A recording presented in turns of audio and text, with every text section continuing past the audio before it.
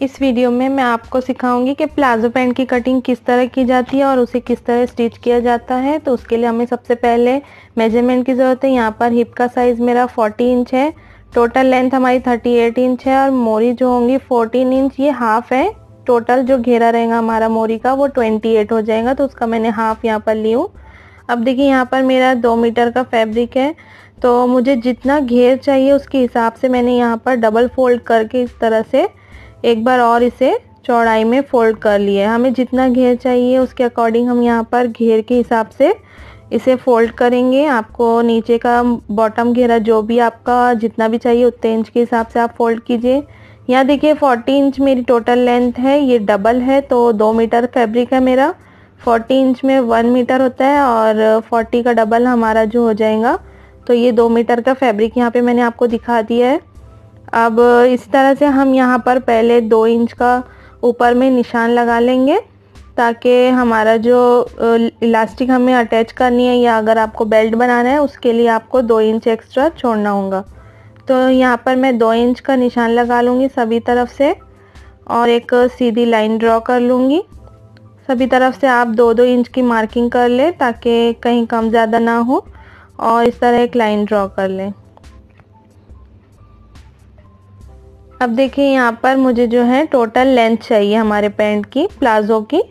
तो प्लाज़ो की total length मेरी 38 इंच है। तो यहाँ पर मैं 38 का इस तरह से 37 और फिर एक एक इंच नीचे से हम एक्स्ट्रा छोड़कर 38 इंच पे मार्किंग कर लेंगे। एक सीधी लाइन ड्रॉ करेंगे। और वन इंच एक्स्ट्रा हम छोड़ देंगे और जो हमारा टेढ़ा फैब्रिक है नीचे से कम ज़्यादा, उसको हम अलग कर लेंगे। ये देखिए यहाँ पर वन इंच मैंने एक्स्ट्रा छोड़ा है ताकि इसे हम इजीली फोल्ड कर सकें।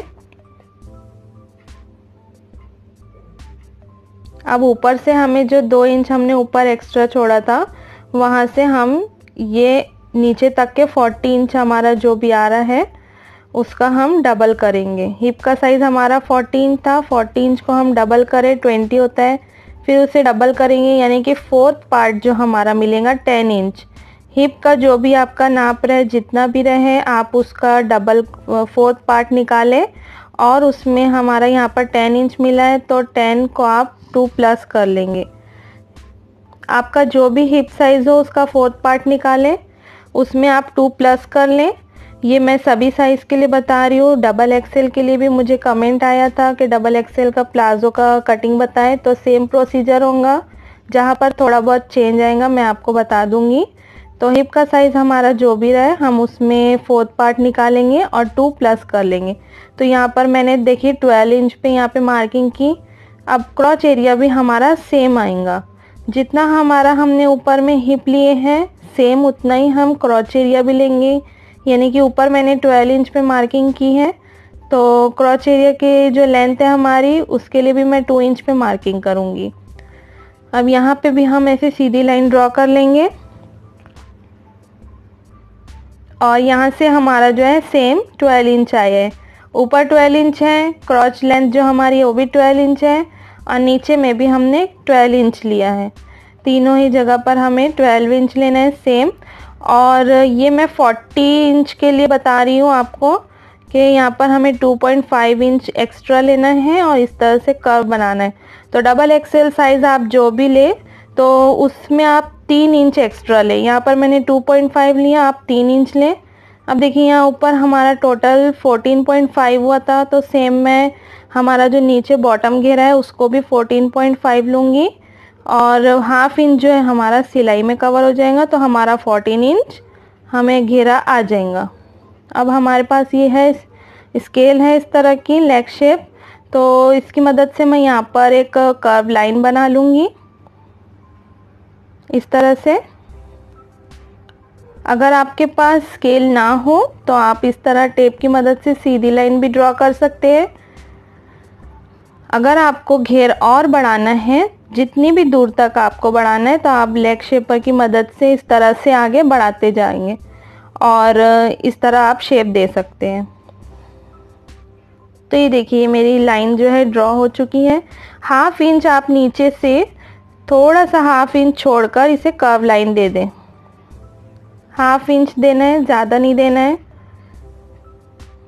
तो यहाँ पर हमारी जो है पूरी मार्किंग कंप्लीट हो गई है। अब मैं इसे कट करके अलग कर लूँगी। बहुत ही सिंपल मेथड है ये। बहुत आसान तरीका है और ये सिर्फ़ एक सिलाई में तैयार होता है। यानी कि हमारी दोनों साइड सिलाई नहीं आती, सिर्फ़ हमारी एक ही साइड सिलाई आएँगी। तो ये सबसे इजी मेथड है और बहुत सिंपल प्लाजो कटिंग हो जाती है। किसी भी साइज़ का आप प्लाजो कट करें, यही मेथड से करें। और अगर आपके स्मॉल साइज़ हो तो आप डेढ़ इंच लें। मीडियम हो तो आप 2.5 इंच एक्स्ट्रा लें। क्रॉच एरिया का मैं बता रही हूँ आपको। और अगर आपका ये लॉन्ग मतलब मीडियम है तो आप टू टू इंच एक्स्ट्रा लें। और उसके बाद में लार्ज है तो 2.5 लें। और एक्स्ट्रा लार्ज है यानी कि डबल एक्सेल है तो आप इसे तीन इंच एक्स्ट्रा लें। बहुत सिंपल कटिंग है। तो ये देखिए, हमने कट करके अलग कर लिए दोनों ही पल्ला। अब इसे हम स्टिच करेंगे तो स्टिच करने के लिए मेरा उल्टा कपड़ा है। उल्टा कपड़ा है, दोनों ही मैं बता देती हूँ आपको अलग करके। इस तरह से हमने इसे अलग अलग कर लिया है। अब दोनों ही फैब्रिक को हम इस तरह बिछाएँगे। एक पहले हम जो हमारा एक पैर का रहेगा, उसे सीधा बिछाएँगे। और अब उसके ऊपर हम दूसरा फैब्रिक जो है, हमारा उल्टा बिछाएँगे। अच्छी तरह से आप इसे जमा लें, दोनों ही क्रॉच एरिए को अच्छी तरह से मिला लें और उसे सिलाई से डबल सिलाई से अच्छी तरह स्टिच कर लीजिए। तो चलिए हम यहाँ पर स्टिच कर लेते हैं हाफ़ इंच का मार्जिन छोड़ते हुए। आपको मैंने जो मेज़रमेंट बताया, उसमें कुछ भी एक्स्ट्रा नहीं छोड़ना है। मेज़रमेंट में आपको हाफ़ इंच का मार्जिन भी मिल जाएगा। एक्स्ट्रा छोड़ने की ज़रूरत नहीं है, बिल्कुल कॉन्फिडेंस से आप कटिंग कर सकते हैं। जिस मेथड से मैंने आपको बताया है, और बहुत इजी मेथड है। तो चलिए यहाँ पर डबल सिलाई लगाएँ हम, ताकि ये सिलाई हमारी जो है उखड़े ना, निकले ना। अब दूसरे साइड का क्रॉच लेंथ जो है, वहाँ से भी हम सिलाई लगा के इसे पैक कर लेंगे।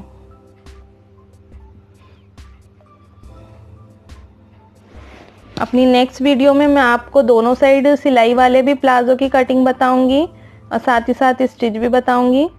तो चलिए यहाँ पर हमारा जो है दोनों क्रॉच एरिया सिल के तैयार हो गया है। तो हम इस तरह से इसे आपस में मिलाएँगे और इस तरह हम आपस में मिलाने के बाद में जो है इसे पैक कर लेंगे।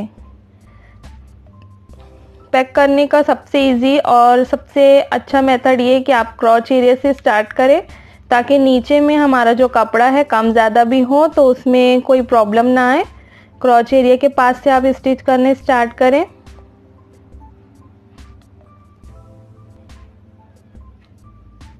सिलाई लगाते समय ध्यान दें कि दोनों पल्ले एक के ऊपर एक बराबर से जमे रहें। अब हम सिलाई लगाने के बाद में इसे डबल वापस से लेकर आएँगे।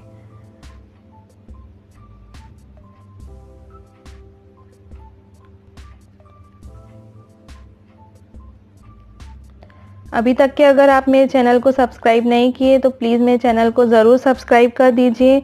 और वीडियो अच्छा लगे और आपको समझ आए तो इसे लाइक भी ज़रूर कीजिए और अपने फ्रेंड्स को भी शेयर कीजिए ताकि हमारे वीडियो आपके दोस्तों तक या आपके कलीग्स तक पहुँच सके। तो देखिए, मैंने यहाँ पर जो क्रॉच एरिया तक के सिलाई लगाई थी, उसे दूसरे साइड भी लगा ली है और डबल सिलाई लगाकर यहाँ पर मैंने प्लाज़ो की जो है फिटिंग लगा ली है। अब हमें नीचे की जो मोरी है, उसे फोल्ड करना है। एक इंच हमें फोल्ड करना है। अगर आप एक इंच नहीं ज़्यादा फोल्ड करना चाहते हैं तो एक्स्ट्रा का कपड़ा लगाकर, पट्टी लगा के भी फोल्ड कर सकते हैं, या इसमें आप कुछ अच्छे डिज़ाइन भी बना सकते हैं। तो यहाँ पे मैं एक इंच का कपड़ा लगा के इस तरह से फोल्ड कर लूँगी। डबल फोल्ड करेंगे ताकि जो कपड़े के धागे वो बाहर ना दिखें।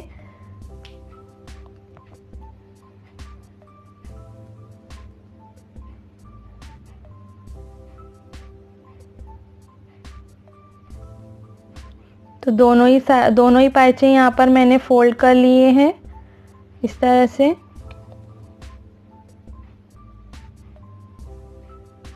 ये देखिए, यहाँ पर मैंने दोनों पैचे हमारे जो है मोरी तैयार कर लिए फोल्ड करके। अब हमें ऊपर जो है इलास्टिक लगाना है। आप अगर वन साइड इलास्टिक लगाते हो, दूसरे साइड बेल्ट लगाते हो, वो भी सही है। यहाँ पर मैं पूरा राउंड में इलास्टिक लगाऊँगी तो 26 इंच की मैं यहाँ पर इलास्टिक कट कर ली हूँ। टेप की मदद से। अब इसे हम इलास्टिक को अच्छी तरह से दोनों एक पे एक रख के डबल टिबल सिलाई लगाकर अच्छी तरह से पैक कर लेंगे।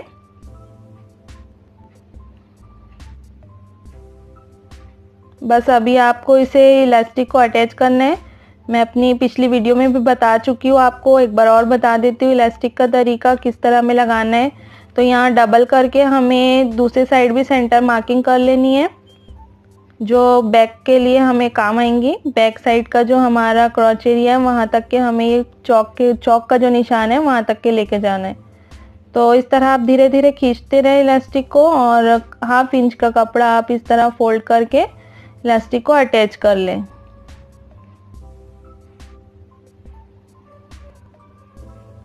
ये देखिए, मैंने एक सिलाई तो लगा ली है। अब हमें दूसरे साइड भी पैक करना है। तो इसको एक बार और इलास्टिक जितनी बड़ी है, हमारी जितनी चौड़ी है, उसे उतना फोल्ड करेंगे। यहाँ पे डेढ़ इंच की इलास्टिक है मेरी तो दो इंच कवर हो चुका है मेरा हाफ़ इंच पहले मैंने फोल्ड किया है और उसके बाद में 1.5 इंच मैंने पूरा इलास्टिक का फोल्ड किया है। तो यहाँ पर दो इंच मेरा कवर हो गया है, जो हमने एक्स्ट्रा छोड़ा था ऊपर के लिए। इसे भी आप इसी तरह से खींच खींच के सिलाई लगाएँ। कपड़े को खींच के सिलाई लगाएँ ताकि इलास्टिक आपकी जगह पर ना रहे, वो थोड़ी फैल के निकले।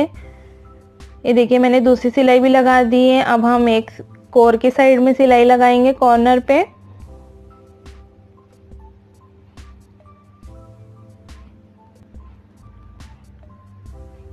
बहुत ही सिंपल और आसान तरीका है ये इलास्टिक लगाने का। अब एक फिनिशिंग के लिए आप बीच में भी सिलाई लगा दीजिए। ताकि जो हमारे इलास्टिक में थोड़ा बहुत भी फिनिशिंग कम रह गई है, वो पूरी हो जाए। तो यहाँ पर देख सकते हैं आप, हमारा प्लाज़ो कितना इजी और कितना जल्दी इजीली तैयार हो चुका है। ये सबसे सिंपल तरीका है, बहुत आसान तरीका है। और भी तरीके से मैं आपको प्लाज़ो की कटिंग ज़रूर बताऊँगी। आप मुझे कमेंट करके बता सकते हैं। अगर आपकी और कोई रिक्वायरमेंट है तो आप मुझे बताइए, मैं ज़रूर पूरी करूँगी। और कोशिश करूँगी कि आपको इजी मेथड बता सकूँ। तो प्लीज़ मेरे चैनल को सब्सक्राइब ज़रूर कीजिए। Thank you so much.